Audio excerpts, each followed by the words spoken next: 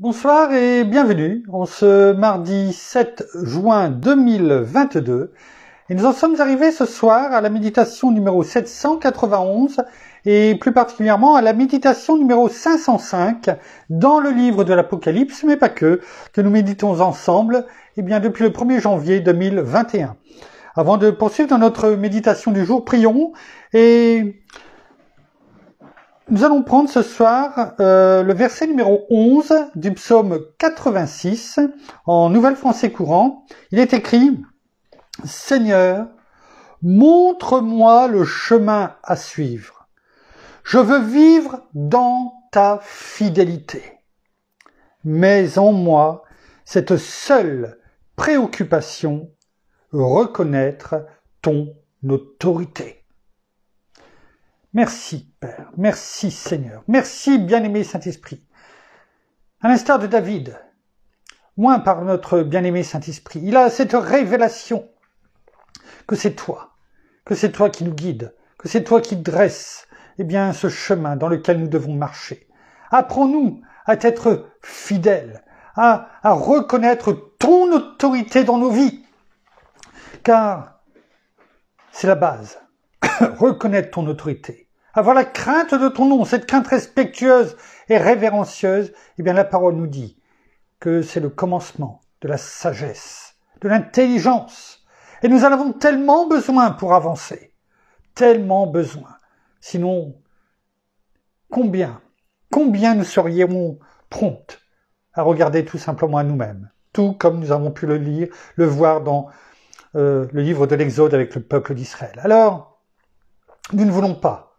Nous ne voulons pas reproduire ces erreurs. Elles sont, elles nous sont données justement afin que nous les évitions, que nous ne tombions pas dans ce même piège. Alors, mets en nous ce désir de reconnaître, ce désir ardent de reconnaître ton autorité et de la laisser nous envahir totalement et complètement pour ta gloire, Père, dans le nom de Jésus. Merci, bien-aimé Saint-Esprit.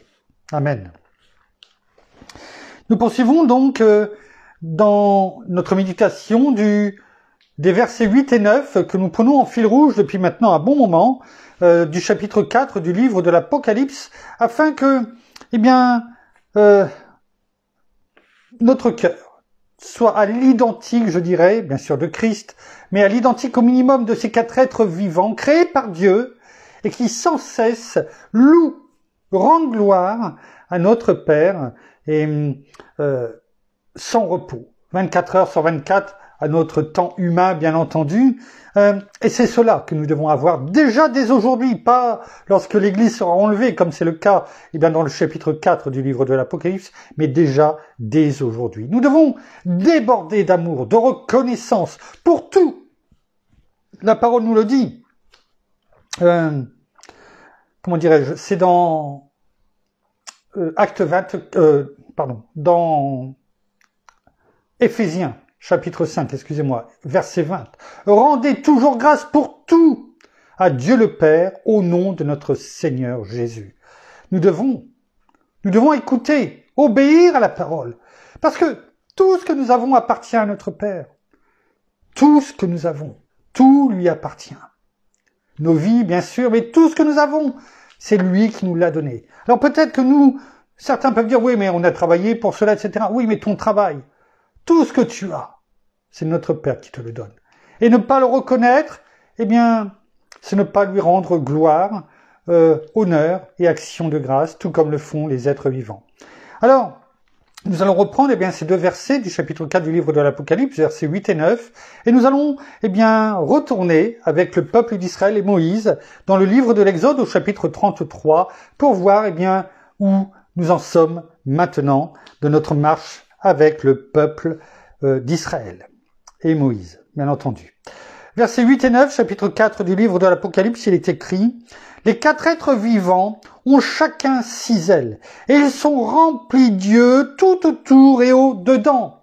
Ils ne cessent de dire jour et nuit, Saint, Saint, Saint est le Seigneur Dieu, le Tout-Puissant, qui était, qui est et qui vient. Et quand les êtres vivants rendront gloire et honneur et action de grâce à celui qui est assis sur le trône, à celui qui vit au siècle des siècles. Ici, il est parlé, bien entendu, du Dieu Tout-Puissant, notre Père, et sans oublier, bien sûr, même si ce n'est pas, eh bien, à qui rend de gloire, en tout cas les quatre êtres vivants, mais n'oublions pas notre Seigneur qui est assis à sa droite, à la droite de notre Père, et qui règne pour l'éternité à ses côtés. Alors, replongeons-nous, eh bien, replongeons-nous euh, dans le livre de l'Exode, chapitre 33, et, et, nous en sommes arrivés au, au verset 9. Nous avions vu hier, notamment, eh bien, combien? Combien lorsque Moïse sortait du camp pour aller vers la tente, cette tente qui été mise hors du camp, Hein, nous l'avions vu, euh, à quelques distances en tout cas du camp, parce que eh bien la tente, la tente de la rencontre, la tente d'assignation, la tente où Moïse eh bien résidait, eh bien ne pouvait pas être dans le camp, dans le camp, parce que rien d'impur ne peut cohabiter avec Dieu. La présence de Dieu ne peut pas être là où eh bien il y a un grand péché. Hein, comme Moïse l'a dit, non seulement notre Père en, désignant bien sûr le peuple, et ce que Moïse a dit au peuple également. Et nous avons pu voir que quand il allait vers la tente de la rencontre, eh bien, tout le peuple, tout le peuple, eh bien, se levait euh, et euh, comment dirais-je, et suivait et suivait euh, Moïse jusqu'à ce qu'il rentre hein, suivait des yeux hein, jusqu'à ce qu'il rentre dans la tente. C'est ce que nous avons vu hier. Je vous laisse aller réécouter pour ceux qui ne l'ont pas entendu ce que nous avons pu dire à ce sujet. Eh bien, hier, dans la méditation d'hier. Verset 9. Lorsque Moïse, hein, donc il est sorti du camp, il s'approche de la tente de la rencontre, hein, il rentre dans la tente de la rencontre. Il est écrit au verset 9, chapitre 33 du livre de l'Exode. Lorsque Moïse entrait dans la tente, la colonne de nuée, de nuée, pardon, descendait et s'arrêtait à la, à l'entrée de la tente et l'Éternel parlait avec Moïse. Lorsque Moïse entrait dans la tente, on voit, on voit ici dans ce verset tout de suite ce qui peut nous, nous éclairer et et nous ravir, parce que c'est la même chose avec chacun d'entre nous, si nous le comprenons, si nous comprenons si euh, ce que la parole veut nous dire, ce que notre Père veut nous dire, qu'importe que ce soit euh, passé il y a 3500 ans, pas tout à fait 3490 ans environ, 91 euh, ans, qu'importe qu'il y ait plus de trois millénaires et demi, qu'importe, ça ne change rien, ma parole ne passera pas, ne disparaîtra jamais selon les versions. Voilà ce que notre Seigneur et notre Père dit. Et, ici, on ne peut que se réjouir. Pour Moïse, mais pour nous, pour chacun de ses enfants, les enfants de notre Père, parce qu'ici, on voit la communion. La communion qu'il y a avec Moïse.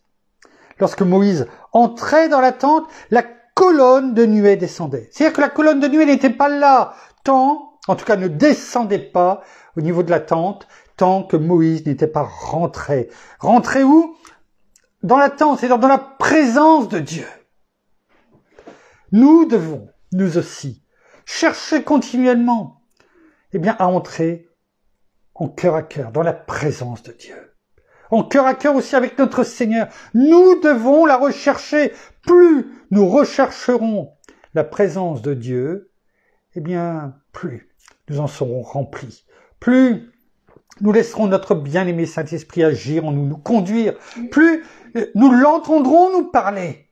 Combien de fois, et je parle pour moi, combien de fois pouvons-nous dire ou penser, et on a vu hier en priant, euh, c'est la même chose pour notre Père, il entend toutes choses, il voit toutes choses, eh bien, j'ai l'impression que, Père, tu ne me parles pas.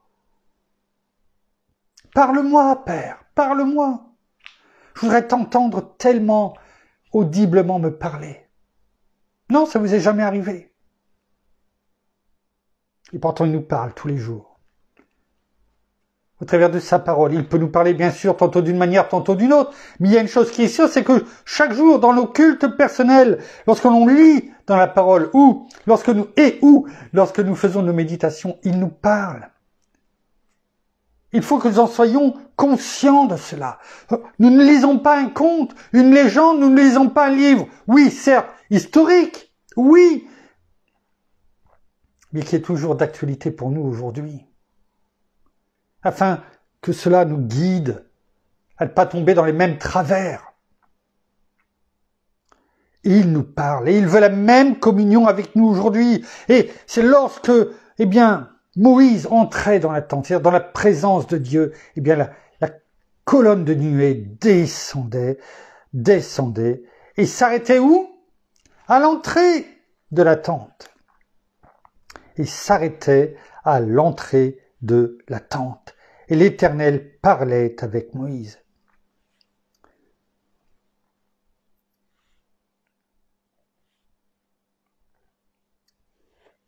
s'arrêtait. C'est la même chose que nous avions vu, si vous vous rappelez, eh bien, lorsqu'au verset 26 du chapitre 32, lorsque Moïse, eh bien, après avoir détruit le veau d'or, l'avoir réduit, mis dans le feu et réduit en poussière et avoir donné, euh, comment dirais-je, euh, avait fait boire au peuple, eh bien, ce mélange, hein, eh bien, il, est, il est sorti. Hein, il s'est mis à la porte, comment dirais-je, euh, du camp, il a appelé là les 3000 les, euh, les, les, Lévites, pardon. Il a appelé les Lévites. Et enfin, il n'a pas appelé les Lévites, les Lévites. Il a dit qui est-ce qui euh, qui viendra pour rendre gloire finalement, et qui est-ce qui va se tenir près de moi? C'est les Lévites qui sont venus. Hein. et lorsqu'il est dit Moïse se tint à la porte du camp, eh bien, on s'aperçoit que c'est le même mot ici hébreu, le même verbe hébreu qui est utilisé pour parler que, eh bien, la nuée s'arrêtait à l'entrée de la tente. C'est le même, c'est le même verbe hébreu. C'est-à-dire se tenir debout. Hein, c'est ce que nous avions vu, hein, dans notamment la, façon de, euh, comment dirais-je, euh, que la parole, eh bien, ce, ce mot, ce verbe hébreu, eh bien, décrit, décrit eh bien aussi bien se tint que s'arrêtait à l'entrée. Se tient debout. C'est comme si que, eh bien voilà, la nuée, c'est comme si c'était un gardien qui était là pendant que Dieu, eh bien, était avec Moïse. Et l'Éternel, et l'Éternel parlait avec Moïse. C'est beau cela. Cela doit toucher notre cœur, parce qu'on s'aperçoit que quoi? Que lorsque nous sommes dans la présence de Dieu, nous n'avons pas à, nous, à, dire ou à demander, à clémenter ou à se poser même la question, eh bien Père, est-ce que tu es là? Est-ce que tu, tu veux me parler? Oui, il veut nous parler. Tout comme, eh bien, il parlait avec Moïse. Il a tellement de choses à nous dire, tellement de choses à nous révéler. verset 10. Tout le peuple, tout le peuple euh, voyait la colonne de nuée s'arrêter, hein, la même chose donc, à l'entrée de la tente. Alors tout le peuple se levait et se prosternait, chacun à l'entrée de sa tente, là où ils étaient, dans le camp. Est-ce que c'est par respect? Est-ce que c'était des vrais adorateurs? Je, je ne sais pas, je ne peux pas vous le dire. En tout cas, ils avaient l'apparence. Des vrais adorateurs sont prêts à tout, à écouter, à obéir et à mettre en pratique ce, qui est dit. Alors, il est vrai que dans ce verset 10, on pourrait croire qu'ils se sont, dans la façon dont ils agissent, que ce sont de vrais adorateurs. Il y a, oui, peut-être ce respect. Je n'en, je n'en doute peut-être même pas. Mais la suite de ce que nous verrons eh bien, dans les prochaines méditations euh, nous mettra en lumière que peut-être que en ce moment, en cet instant T, ils étaient des adorateurs. Ils agissaient avec respect ou avec crainte en tout cas, crainte mélangée de peur et de respect, je suppose, et mais de vrais adorateurs, j'en doute. Nous le comprendrons dans quelque temps. Euh, L'Éternel parlait avec Moïse, verset 11, face à face, comme un homme parle à son ami.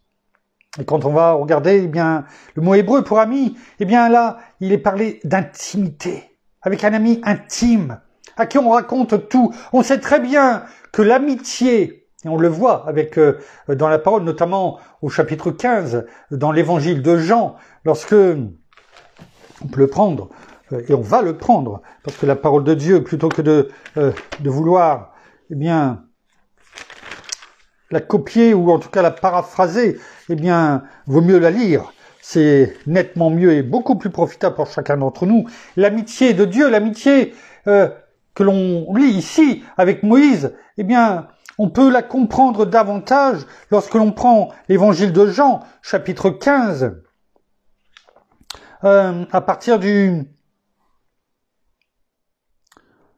Euh, du verset 12, par exemple. Voici mon commandement. Chapitre 15, verset 12, c'est notre Seigneur lui-même qui parle. Euh, voici mon commandement. Aimez-vous les uns les autres comme je vous ai aimé. Il n'y a pour personne de plus grand amour que de donner sa vie pour ses amis. Vous avez des amis. Nous avons des amis. Est-ce que aujourd'hui, pour nous, cette amitié a une valeur au point de donner notre vie pour eux.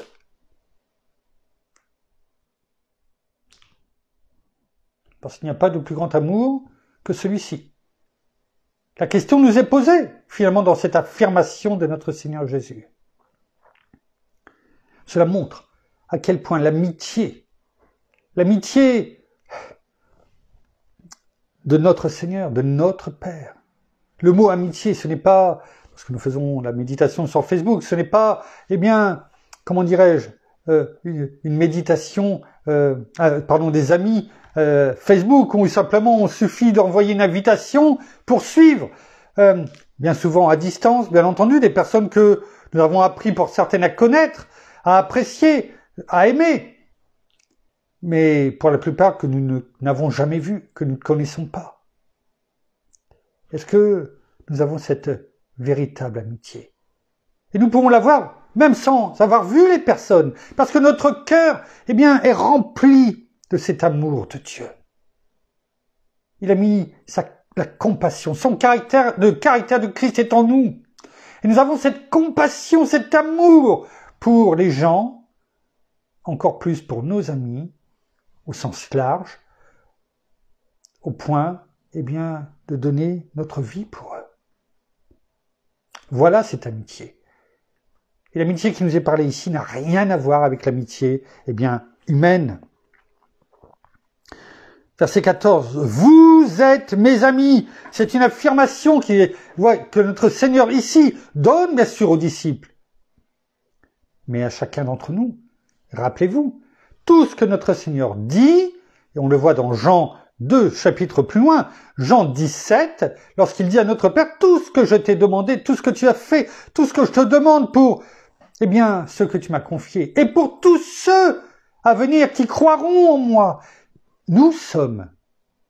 Tout ce qui est dit ici, il faut qu'on le, comprenions bien. Tout ce qui est dit ici, c'était pour les personnes avec qui il était à ce moment-là, et tous ceux à venir, qui serait et qu'ils le recevraient comme Seigneur et Sauveur de leur vie. Donc c'est toujours, eh bien, pendant que nous parlons aujourd'hui, eh bien, c'est toujours aussi pour nous, pour chacun d'entre nous. Et quand notre Seigneur nous dit ici, eh bien, je ne vous appelle plus serviteur, euh, alors, verset 14, vous êtes mes amis, et si vous faites ce que je, si vous faites ce que je vous commande. Vous êtes mes amis si vous faites ce que je vous commande. Donc finalement, on se trouve comme toujours avec deux possibilités, deux chemins. Est-ce que je veux faire ce que notre Seigneur nous commande, notre Père au travers de sa parole? Est-ce que je veux la mettre en pratique? Est-ce que je veux l'écouter, obéir? On rejoint toujours ces trois piliers. l'écoute active, euh, l'obéissance radicale et la foi en action. Reposant sur quoi? Et sur qui Notre Seigneur, la parole faite chair, notre roc, la pierre angulaire de notre vie. Voilà. On revient toujours même à la même chose. Et à force de le répéter, eh bien, ça deviendra une bonne habitude pour nous.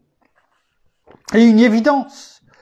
Je ne vous appelle plus serviteur Jean 15, 15, parce que le serviteur ne sait pas ce que fait son maître. Je vous ai appelé ami parce que tout ce que j'ai appris de mon Père, je vous l'ai fait connaître.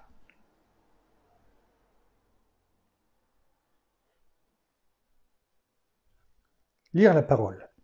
Écoutez Christ nous parler. Laissez notre bien-aimé Saint-Esprit euh, nous enseigner, comme il est dit un petit peu plus tôt dans le euh, euh, chapitre 14, la fin du chapitre 14, verset 26. Eh bien, si on laisse le Saint-Esprit nous enseigner, nous rappeler tout ce que le Seigneur veut nous dire, nous rappeler, et qu'on le met en pratique, nous sommes les amis de notre Seigneur. Il nous a donné son amitié. Et on sait combien cette amitié est précieuse parce que notre Seigneur s'est donné pour ses amis.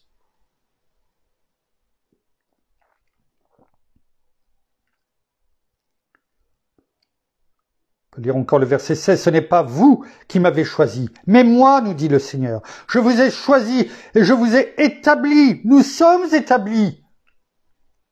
Nous ne sommes pas là par hasard.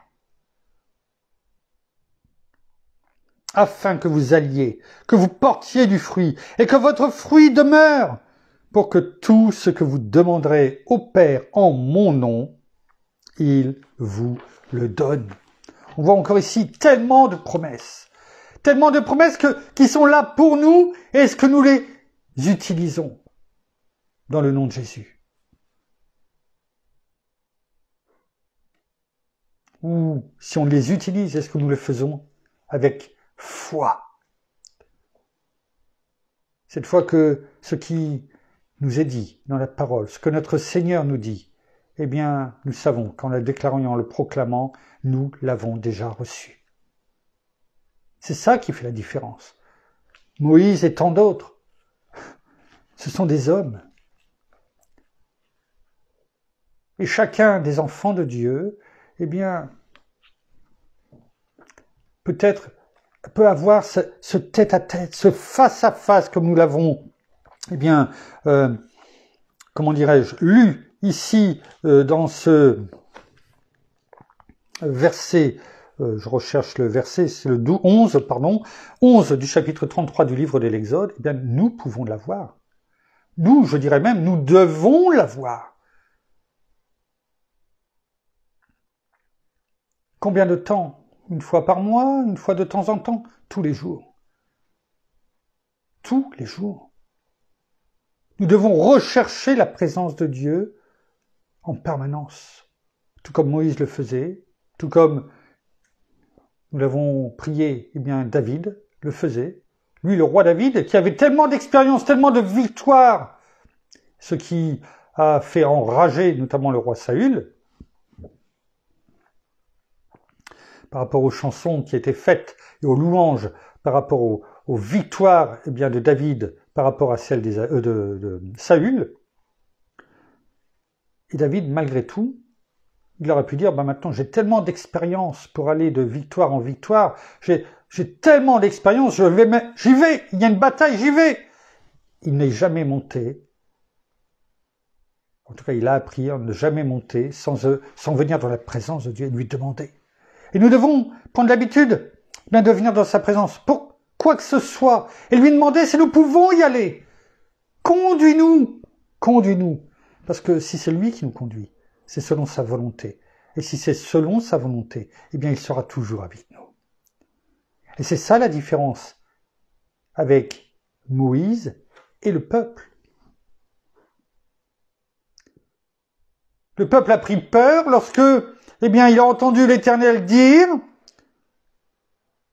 par Moïse, eh bien, qui ne pourra demeurer avec le peuple sous peine de l'exterminer. Il pouvait demeurer que même pas quelques instants de peur, eh bien que sa colère s'enflamme contre eux.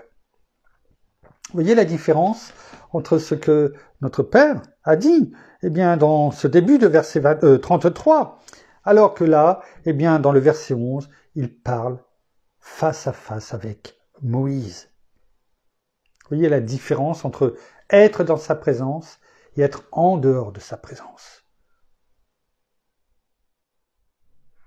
D'un côté, eh bien, il y a ces louanges que Moïse doit avoir sûrement dans son cœur, euh, même si on ne l'entend pas ici les dire, mais on le sait. Ces louanges, ce cœur formidable qu'il a, eh bien, d'amour, rempli d'amour, de compassion, on l'a pu le voir, de sa compassion vers le peuple. Hein. Il était prêt à ce que, eh bien, euh, son nom soit effacé. Donc, on voit l'amour qu'il a pour le peuple, le même amour finalement que notre Père. Alors, il est important, et on continuera demain, eh bien, la suite de ce verset 11, il est important, il est important de comprendre, eh bien, tout comme nous l'avons prié en début de méditation, eh bien, que le Seigneur, tout comme David, eh bien, je veux redire ces versets parce que ce verset, parce qu'il est, tellement, eh bien, d'actualité au, au quotidien. Seigneur, montre-moi le chemin à suivre. Je veux vivre dans ta fidélité. Mets en moi cette seule préoccupation. C'est la seule préoccupation finalement que Moïse avait, alors que ce n'est pas le cas, eh bien, pour le peuple d'Israël. Cette seule préoccupation, c'est de reconnaître ton autorité. En parole de vie, eh bien, il est écrit pour ce même verset, Seigneur, montre-moi ta volonté. Ça nous rappelle quelque chose ta volonté, Père, non pas la mienne, mais ta volonté. Alors, je t'obéirai fidèlement. Voyez ce deuxième pilier, on le retrouve de nouveau ici. Que mon cœur, mon cœur, cherche seulement à respecter nom. Et en Nouvelle Bible seconde, pour terminer, enseigne-moi ta voix, Seigneur. Je marcherai par ta loyauté. Notons que ce n'est pas par notre loyauté, parce que la loyauté humaine, eh bien, elle s'arrête très très vite. Il ne faut pas grand-chose pour que celle-ci tombe. Notons que, eh bien, David ici dit, je marcherai par ta loyauté, comme nous sommes, eh bien, affermis par la justice de Christ. Unifie mon cœur. Notons, j'aime ce verset. Dans les différentes versions que nous avons lues, unifie mon cœur. voilà, unifier, ça veut dire qu'on ne fasse qu'un, une seule chose. Unifie mon cœur pour que je craigne ton nom. La parole de Dieu est tellement belle, tellement belle. Sachons simplement aller la chercher. Laissons notre bien-aimé Saint-Esprit nous conduire pour que nous la trouvions, que nous l'entendions, que nous la gravions sur les tables de notre cœur et que nous la mettions en pratique. Merci, Père. Merci, Seigneur. Merci, bien-aimé Saint-Esprit. Nous allons terminer par la prière. Mon épouse arrive.